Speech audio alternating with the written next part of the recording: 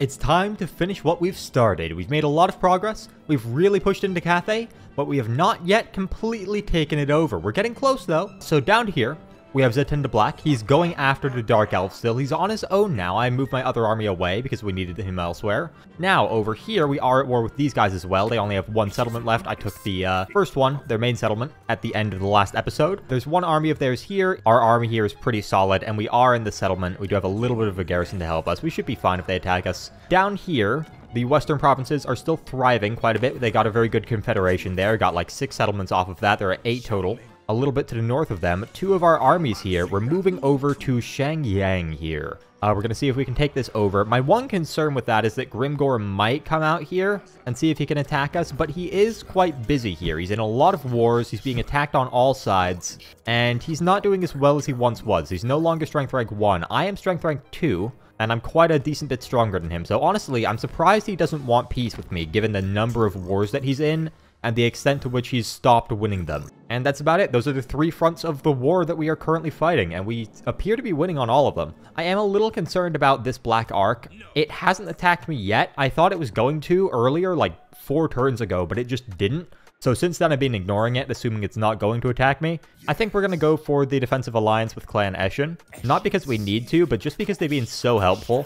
Our convoys are going well here. It's going to be a little while before they reach their destinations. This one is insanely profitable for some reason. Ah, Grimgor Ironhide. Not coming to attack me, going the exact opposite way. Thank you very much, buddy. Oh, actually, never mind. He is coming to attack me as well, but not with the majority of his forces. That could be a problem there.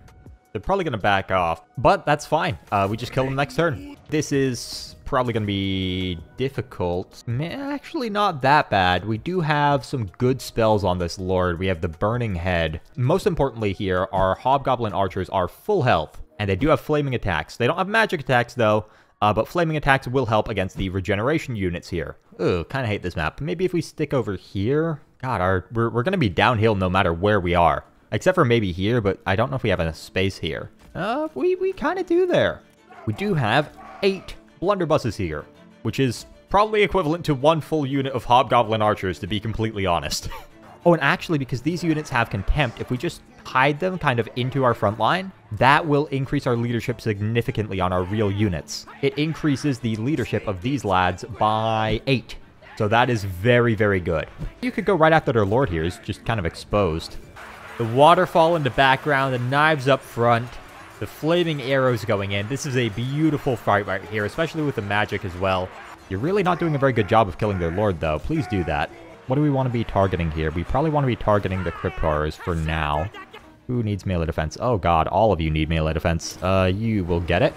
The balance of power is even, but I'm not loving how our front line is holding up, or rather not holding up. Uh, we'll toss this here again. I probably should have done that a few seconds earlier. Still, though, going to get value, and their lord is almost dead. Once their lord dies, they're going to start crumbling a lot easier. I'm not going to say they're all going to crumble immediately, but they will crumble faster. Their lord is about to die.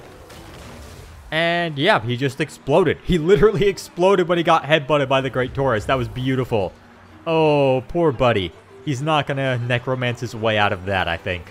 Uh, he will be taking a lot of damage in melee there, but he's just to have to tank for a little bit. This is looking good. This terrain really saved us. If we got flanked and all that, that would have been rough. I meant to put that a little further to the left. Hopefully we're not to get friendly fire there. Uh, not a ton of damage from that, but enough. Oh god, we are running out of ammo. We are actually running out of ammo. Uh, you get into melee there. You back off here. We should have just, and I mean like within a couple of volleys, uh, enough ammo to win this. That was not an easy one, but we got it. I think I could have done that a little more effectively, but not by a lot. That was definitely a Pyrrhic victory. Um, very solid. We did not lose a single, single one of our real units. That is crazy. We got probably within like one model of losing this guy, but we didn't. The extra leadership from these Chaos Dwarf warriors, even though they were in themselves worthless, that was immensely useful. Immensely. But what happened to the rest of the screen, you ask? Where is everything else? Well, it's it's a little bit unfortunate. Things from now on out are going to be a little bit different in this video. I'm going to be doing a different style of content than usual because I made a bit of a mistake. I made an error, a minor lapse in judgment. Uh, that is, I recorded the rest of this in 1080p, which in itself, not a problem. The problem is I recorded the top left 1080p. The, the bottom right bits are gone. So what I'm going to be doing is I'm going to be explaining kind of what happened in between battles, and then I'm going to be showing the replays of all the interesting and cool battles that happened. I think that can be really fun. I've actually been thinking about doing this style of video for a while, but this is a pretty obvious motivation to try this now rather than waiting around. So naturally after this I chased them down, I did end up beating them here, and I didn't take too much damage. I did lose this one unit of hobgoblins. So, what Lokhir Fellheart's done there is he has two armies that he just moved up there in Force March, one of them in the settlement, one of them outside of it, and a third army is right in my face going for an ambush. Also, the Beastmen decided to declare war on me for no apparent reason, very annoying. So, from here, all I did was move up an encamp stance a little bit, bada boom, discovered the ambush. Not that hard, just go into encamp stance. That's why you don't ambush immediately next to like another player or someone with a brain other than the AI. Now from here, I don't unfortunately have Lightning Strike yet, so I did have to fight both of these first armies, although fortunately they weren't in the reinforcement uh, range of this garrison. So I just fought these two armies, and this is the battle I'm about to show you. This was one of the best battles throughout this entire campaign, honestly. This battle was an absolutely gorgeous one. I love this map. I love this matchup because they're so simple to defeat. They have a few ranged units. They are good. They are AP. Dark Shards are awesome. But the Dread Spears are not going to hold up very well against Sneaky Gits. That is incredibly favorable for us. Now, they started up here uh, in a kind of stupid formation. They've kind of split up. Let me pause for a second here. They've split up their forces. They have like four units here. All right, they have about four or five units here. And then they have the majority of their first army here. Now, all I do here is I move up with the Hobgoblin Sneaky Gits, and I kill them. Yes, that is a summon of the Cutthroats, and they just completely disrupted them. Now, all of these units all of them, like 15 units here, are disrupted by those cutthroats. They're forced to stand in place for at least a few seconds. The cutthroats don't last long, but they last long enough for me to land some really good volleys, turn them around a little bit here, and charge in without them getting any charge bonus or braced bonus, which is wonderful. Right now, we're already routing at least four or five of these units. Uh, Zhatan the Black has Terror on him with his mount, so they're all routing now. I kind of moved most of my units back because I want them to come back through this choke point. That's just very efficient for me. Uh, but I also sent a few units up to try to chase them down, make sure they don't come back too much. And they did with the second army decide to mostly go on this left side, and partially go on this even further and dumber left side. I don't know why they're all the way over here. The balance of power is already pretty good. Five minutes into the battle, not too long. We've already wiped out pretty much the entirety of the first army. Eventually, yeah, right now they're already starting to send their units back and forth. They start to really panic and not know what to do because they're the AI and therefore stupid once I move the majority of my army back here.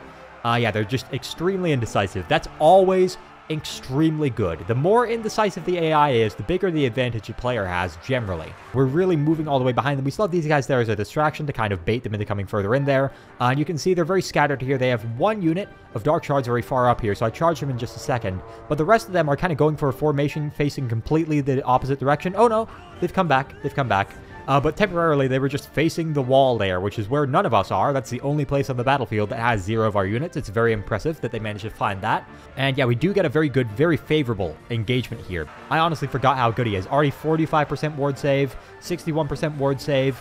Yeah, so now he's at over 90% missile resistance effectively which is the cap regardless, so he's taking no damage from those Dark Shards. Uh, the archers are doing a lot of work, and unfortunately these guys from this army over here, well, not separate army, separate part of the army, decided to come back.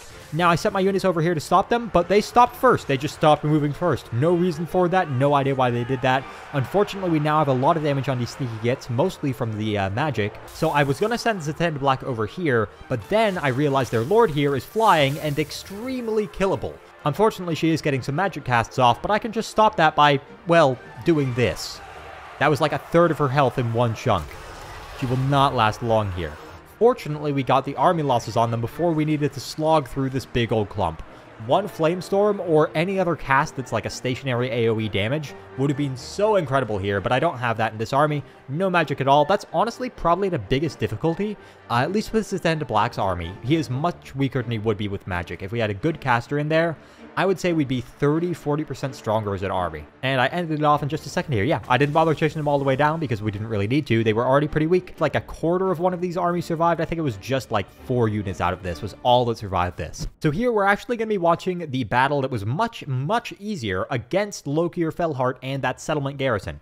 Now, the reason we're watching this one is because I employed a strategy that I don't usually use mostly just to show it off and show off how powerful it is. Lokhir Fellheart's army, you can't see it quite yet, but it is almost exclusively ranged units. It is like 95% various types of crossbows, and you can see his army right there. It is all but two units are crossbows, uh, but they have a two-minute reinforcement timer. This army's a joke. It's not really a concern. They're all very slow. I just use these guys to kind of distract them and run away from them. I have them on skirmish mode for once. I don't usually. And we're trying to get all of our units because we have mostly, not exclusively, but mostly melee units to kind of just block off this pass. This is an absolutely perfect spot to wall camp them and hold them in in here in a second. And let's see how much damage we do here.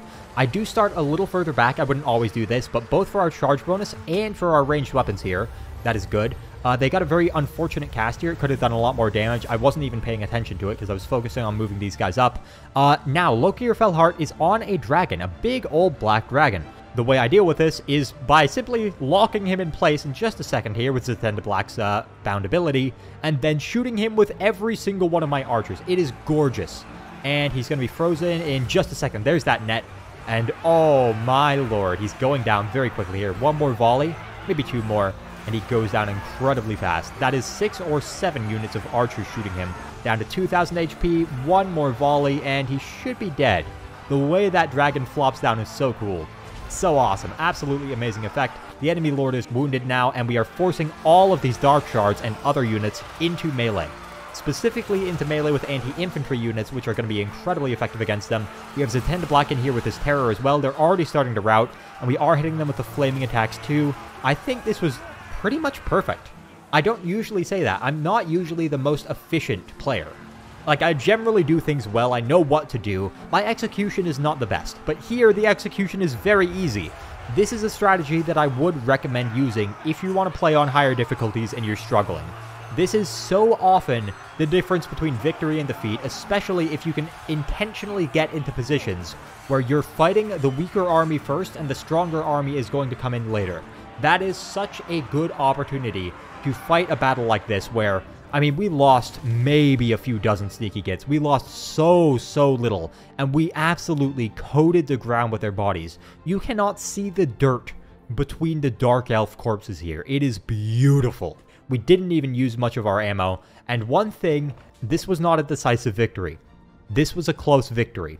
This 31 loss battle, where I wipe out a stack and a half with no damage on my lord or hero, so yeah, that allowed me to get the Lee Temple and pretty much all of this region and also wipe out the vast, vast majority of their balance of power. And now we'll pretty much skip to the next really interesting battle that I saved the replay of. I think that's going to be the best way to do this. So, it's turn 42, and we have a little bit of a problem here. The Beastmen declared war on us quite a bit earlier, like 3-4 turns ago, and finally it's actually become a problem. Fortunately, I did have the foresight to build up an army here, but I only got one turn of recruitment before these guys attacked. If I do accept this auto-resolve, I probably would lose a follow-up fight. These guys would probably come back and wipe me out, so I'm not going to do that. What I am going to do instead is fight this and hopefully win. Ooh, one more thing. I did get the Dreadquake Battery faction-wide in my territory through the Tower of Zharr here. There's been quite a few changes here. We're on tier 2 now. Uh, we finished all of tier 1. I don't have all of the bonuses I want, but they're really expensive to get. I'll probably get that back eventually. The Cygor here is quite terrifying. It has a lot of rocks that it throws at us. Now, I don't know where it stores those rocks. You can observe if there is anywhere on the outside of this creature where it could store those rocks and potentially infer where it does store those rocks based off of this, because I don't see any rocks on the ground here. So they are somewhere on or in its person. Pretty balanced army. They do have the Tuskgor chariots here right in the trees, because the chariots are extremely, extremely anti-infantry. I'm sending my wolf raiders to deal with them, and we'll see how we do here. Uh, the chariots did not going to charge him, which is pretty much the only way they get value. They're not very good in extended combat. We have three units of the Wolf Raiders here, all melee and all like rank 5 or 6 here. Let's see how much value these guys have gotten. Uh, 5 kills, 100 gold value. That is way less than they're worth, and two of them just got destroyed. They should not really be doing anything of value from now on. Fortunately, the Cygor is kind of behind the trees there. I thought that would stop the rocks, and it kind of does, but not very consistently. They send up the Chaos Warhounds quite early right into the laborers here, but the laborers actually do a decent job of stopping them. And fortunately, they're coming at me with part of their army first. They're leaving these guys behind uh, to begin with. Now they really start sending up the bulk of their army. They have the Minotaurs in here right in the center. They start taking a lot of damage very quickly. I immediately hard target them. Already down to half health. Uh, they have some of the Ungor herds, the Gor herd coming in here, their lord. And yeah, those Minotaurs are not lasting very long. Got to love those flaming arrows. It is time to make our foes quake with dread. This is the Dreadquake battery. I didn't use it super efficiently, but you can see here there's three bombs coming down from the sky. And the third one, oh, that hit them pretty hard. Didn't entirely wipe out a full unit, but very close. Actually, no, with the AoE damage afterwards, it did pretty much wipe out a full unit of Ungor Raiders. Decent bit of damage on these Ungor Spearmen, and a little damage on these guys as well. You can see just the gore here. It is, it is quite gnarly. I did make a mistake, though. I didn't realize how big of a blob these guys were about to form here. Let's take a look at this. Four units here, including a Gor Herd. I should have dropped it right there. That would have been better. Oh yeah, here we come in with the uh, Wolf Raiders, and I almost charged into these guys, but I caught it at the last second, and I managed to get a very nice charge over here, tossing those Ungor Raiders. That is beautiful. Over here as well. Uh, these guys should come in in a second. Let's see this. Let's see this. Oh, very solid. Very solid. Even though we have low mass so the day, and very quickly, even though we're at low health, tearing through these guys. These were both basically full health before we got into them. And yeah, both of them are broken. Now we're running out the back, uh, and we managed to get out there with a little bit of health left. These Chaos Dwarf Warriors are putting in a shit ton of work there. Already got over 130 kills, just about to be 140. The Orc Laborers are not doing too bad either. They have a lot of value. Wow, 500 gold value? That is honestly more than I thought they could get. You, Cygor, you are throwing through the trees, right? Oh, yeah, he is. Oh, that's gotta hurt. Oh my god. Yeah, most of them just died on impact there. That was not good. They have managed to get their lord into our archers, but he's not killing them very quickly. Fortunately, this guy is very large. He's a big old boy. He's quite fat, quite chunky. And my lord is not. He's a tiny little guy. So what we're doing is we're shooting this lad in the back while he fights our lord, which is extremely, extremely efficient here because we're getting virtually no friendly fire. Unfortunately, though, our lord is taking a lot of damage, so I do want to bring these guys in, but they're also short enough that we're not going to be shooting them too much. I do honestly think that the um, the orc laborers have the biggest discrepancy between how strong they look and how strong they are. Oh, that was the army losses, though. That was the army losses. And we chased them down quite a bit, but that was a very efficient fight. That was really good. After this, we dealt with a pretty boring siege battle down here. It was nothing to write home about. I just won by getting the control point, so I'm not going to bother showing it. And up here, we are building up this army even more. Uh, so we'll chase them down a little bit. Uh, I really do want to wipe these guys out. Fortunately, they only have one settlement.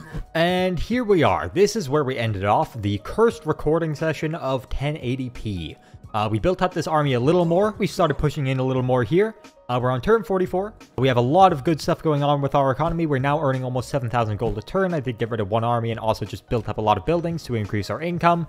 Oh, and we also did fight these guys. We lost that battle by a thin margin, but we did way more damage to them than they did to us. I did forget to save the replay for that one, though, unfortunately. But honestly, it was mostly boring. It, it was a lot of just kiting them and slowly grinding them down. It was not the most interesting battle. Over here, I'm going ballsy. I'm going aggressive. With this army, I am trying to attack Shangyang Yang. I already defeated one small army here as well, and these guys will be able to reinforce us next turn as we go for that. Over here, I'm building up a little more just because I don't know if slash when I will need more forces, and I have so much gold that it would be stupid for me to save it at this point. And down here, mostly the Skaven have taken over the territory. I was hoping to get this, but the Skaven have taken it, and they are my military allies now, so I'm just going to leave that. They're honestly doing fine. We only need uh, four more settlements for the short victory. Uh, yeah, no balance of power, no balance of power, virtually no balance of power compared to us, and no balance of power. Quite a lot of balance of power. I haven't seen them once yet, but that is a lot of balance of power. Lokhir Fellheart on the dragon back there. Hmm, problem. Ah, they do have their legendary lord back here, although he is not got an army yet. This guy refuses to attack my settlements. He just likes loitering in my territory. That is Lokhir Fellheart. I might go for peace with him, because I don't really need to take the rest of his settlements. And also, he looks like he's going to take my small settlement there next turn, probably. So I, I, think it makes more sense to go for peace with him. Oh, they do have a little balance of power. Either their second army is back here, or they're going for an ambush, but that would be weird. There's no downside to just moving up in camp stance a little bit and then swapping back out, so I'll try that.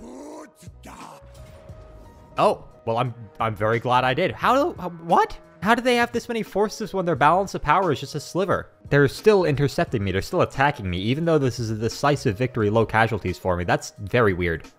I don't know what they're doing there, that's no damage. How is he, it's, we're turn 45 and he's rank 2. Never have I seen a, a legendary lord or just any notable character that low level at this point in a campaign. Oh, I fucking hate that map. Actually, it's not bad for me. I, I hate it in general, but for this army, it's good for me. Yeah, you're shit. I, I don't know how you haven't leveled up. Even just like passively, you should have leveled up, right? That's crazy. It looks almost like an engineering dorm, to be honest. We're to try and block off this whole area. That's what we're to do, and we're to go with just a very basic line of archers. I might checkerboard a tiny bit, but not very much. Oh, they are going up the side there. That's bad. I don't like that. Uh, we're going to have you two probably block that off, and you guys are going to be stretched thin here. And we are now going to toss the Armor of Content there. Unfortunately, did not get to brace against the Centaurs, but we can push into them a little bit and hopefully get some value. Target the Centaurs. They are very high DPS. And the rest of you, I'm going to see if we can target the Bestigors here. Alright, alright. We're going to need to use these guys. We're, this is going to be too close otherwise.